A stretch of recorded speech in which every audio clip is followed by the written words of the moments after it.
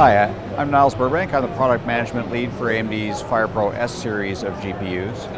And uh, I'm speaking to you here from SC14 in uh, beautiful New Orleans, Louisiana. Uh, we're here at SC14 to help educate our partners and customers about the value of GPUs for HPC, and more specifically about the benefits of using AMD FirePro GPUs. Generally, AMD FirePro GPUs are focused on two segments within the server market. We focus on HPC, which is the primary purpose we're here at the show, SC14, and also we offer FirePro GPUs for virtualization market, which is also a data center market. Here at the show, we're showing our whole portfolio of FirePro S-Series GPUs, including the S9150, which is our current flagship GPU product.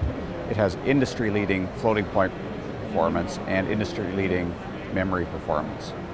GPUs in general and FirePro GPUs in particular provide great energy efficiency to tackle certain classes of HPC problems.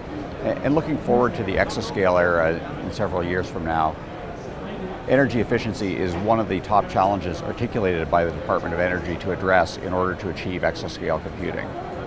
AMD's entire FirePro S-Series stack, uh, from our flagship S9150 product down through their more economical offerings, provides the best value in terms of floating point performance, single precision or double precision, uh, available memory size and memory bandwidth when compared to offerings from the competition.